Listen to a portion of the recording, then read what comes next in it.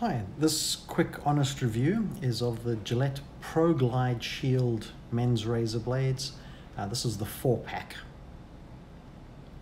Let me show you. So this review, um, the Gillette Pro Glide Shield, um, it's men's razor blades. Uh, this, this, is a, this is a four count. Uh, it's supposed to be specifically for um, it's got a lot of uh, lubrication um, and comfort. That's that's what it's all it's built to be.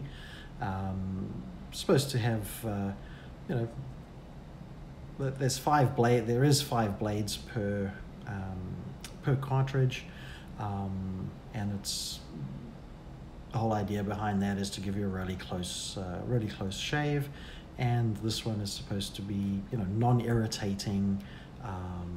It's good if you have sensitive skin or um, any any sort of skin um, sensitivity.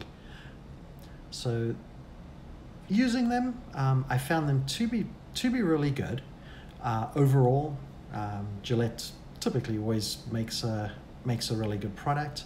Um, glides pretty pretty smoothly. Um, I thought it was going to have a little more lubrication than it than it does. I um, just the way it, way it was sort of built, you know, built with uh, twice the lubrication versus the regular Pro Glide.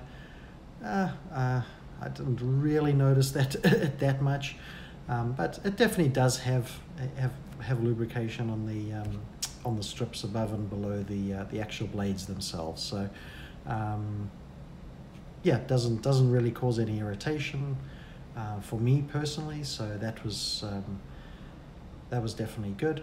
Um, yeah, overall, I do recommend the uh, recommend the blades. Um, I would say on the sort of the, the downside that this is a four pack, runs about twenty dollars um, on Amazon. Um, it's definitely on the high side, so it's about five dollars per per cartridge. Um, they also do 8 and 12 counts. Um, certainly when you get into the, the 8 and 12 counts, it becomes far more cost effective.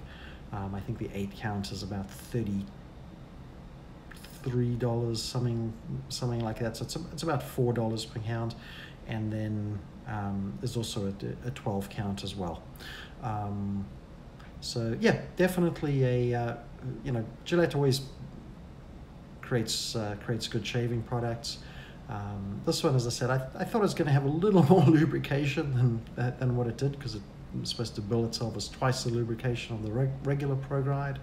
Um, but um, overall, it was a it was uh, you know it does a nice shave. Uh, the cartridges do seem to last a last a while, so so that's good. Um, but next time I'd probably buy an, an eight pack just because it's going to be a little more a little more cost effective.